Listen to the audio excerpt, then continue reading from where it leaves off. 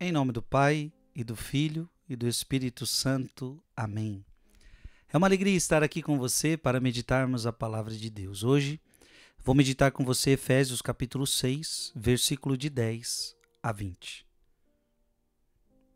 Para terminar, irmãos, confortai-vos no Senhor e no domínio de sua força. Revesti-vos da armadura de Deus para que para terdes em condições de, de enfrentar as manobras do diabo. Pois não é a homens que enfrentamos, mas as autoridades, os poderes, as dominações deste mundo de trevas, os espíritos do mal que estão nos céus. Revesti, portanto, a armadura de Deus, a fim de que, no dia mal, possais existir e permanecer firmes em tudo, de pé, portanto. Cingi os vossos rins com a verdade, revesti-vos com a coraça da justiça e calcai os vossos pés com a prontidão em anunciar o evangelho da paz. Tomai o escudo da fé, o qual vos permitirá apagar todas as flechas ardentes do maligno. Tomai, enfim, o capacete da salvação e o, glau, e o gládio do Espírito, isto é, a palavra de Deus.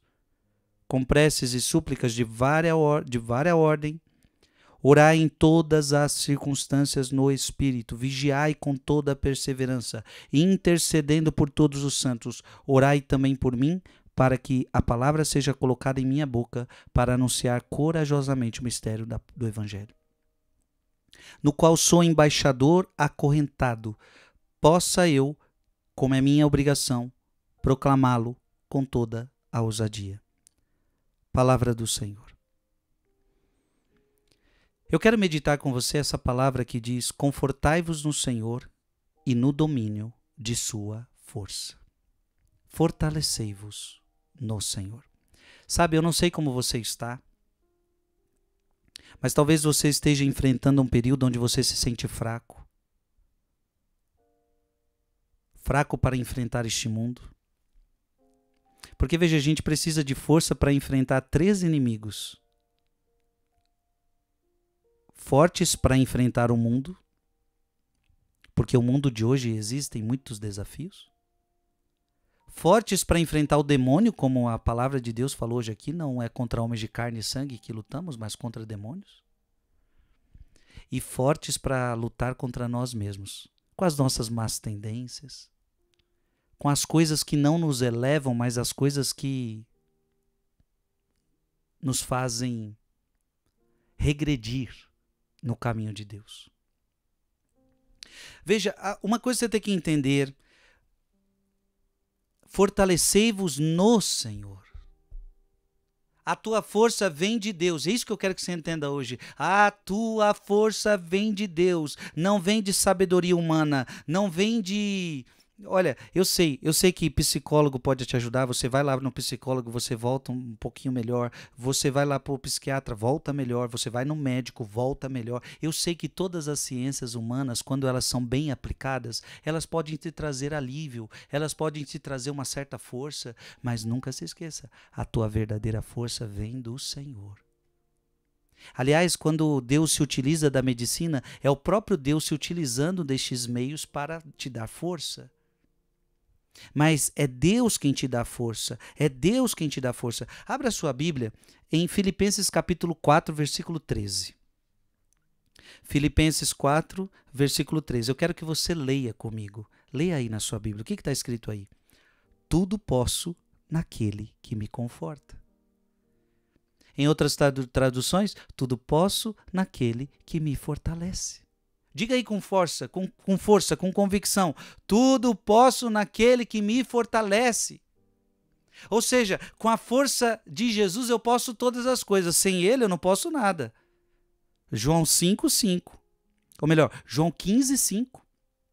Sem mim nada podeis fazer, mas com ele eu posso todas as coisas. Abra sua Bíblia agora em 2 Coríntios, capítulo 12, versículo de 9 a 10. 2 Coríntios 12, de 9 a 10. Mas ele me disse: Basta-te a minha graça, porque é na fraqueza que se revela, que se revela totalmente a minha força. Portanto, prefiro gloriar-me das minhas fraquezas para que habite em mim a força de Cristo. Então, na verdade, o que está acontecendo aqui? Em mim mesmo eu só vejo fraquezas. E a força vem através da graça de Deus sobre mim.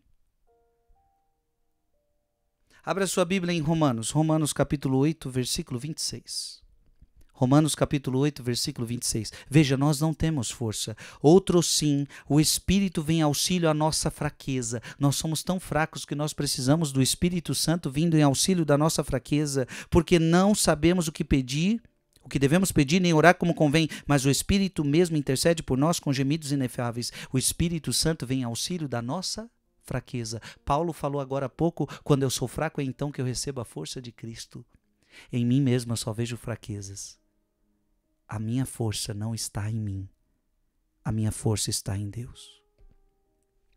Abra sua Bíblia em Atos dos Apóstolos, capítulo 1, versículo 8. Atos dos Apóstolos, capítulo 1, versículo 8. Mas descerá sobre vós o Espírito Santo e vos dará força. Se nós fôssemos fortes, nós não precisaríamos do Espírito Santo.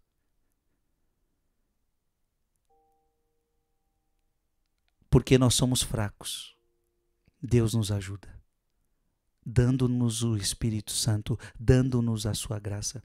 Eu gostaria que você com você compartilhasse aqui nos comentários, escreva aqui nos comentários. Quem de vocês precisa da força de Deus na vida? Eu preciso muito dessa força. Mande esse vídeo para mais alguém. Tem gente precisando entender que a sua força não está nele, não está em nada neste mundo, mas está em Deus. Pai, Filho e Espírito Santo. Amém.